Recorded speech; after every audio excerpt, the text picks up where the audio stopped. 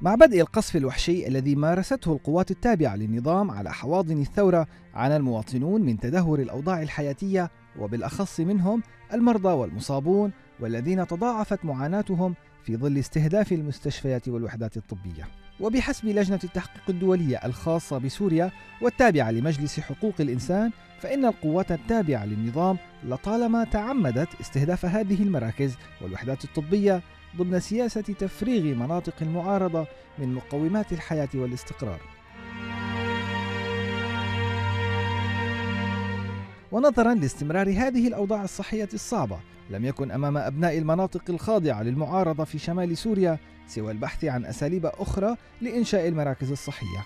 إذ توصل الأطباء والأهالي وبدعم من بعض القطاعات الصحية الدولية إلى أن الحل الأمثل يكمن في بناء مشاف محصنة تحت الأرض وداخل الكهوف والمغارات. قصفوا مشافينا ومراكزنا في حماة حتى وصلنا لمرحلة أنه لم يبقى إلا مشفى أو مشفيين يقدموا الخدمة واتجه الناس إلى الشمال.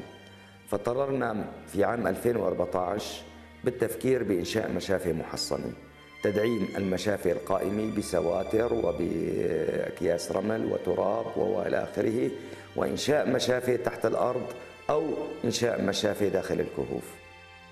استطاعت هذه المراكز تأمين ملاذ آمن لآلاف المرضى لتلقي العلاج أو للإقامة بداخلها ريثما تتعافى صحتهم.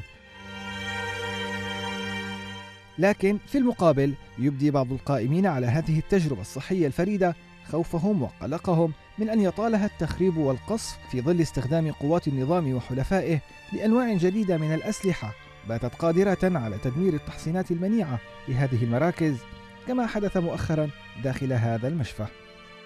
أنا جبتهم على هذا المشفى أنه على أساس أنه مشفى محصن صخور وجدارات استنادية ما مثل المشافي الباقية أنه هذا مشفى مغارة محصن. وقوي كثير على هذا الأساس نحن جبنا لهون بس الصواريخ الروسية والطيران الروسي عم يقصف 10 امتار 15 متر آه، الجبل أو الصخر وعم ينزل صاروخ لأرض المغارة وبيفقع صواريخ ما بنعرف شو نوعها. ويبقى السؤال كيف سيكون دور ومستقبل هذه المراكز في حال استمر استهدافها من قبل قوات النظام وحلفائه؟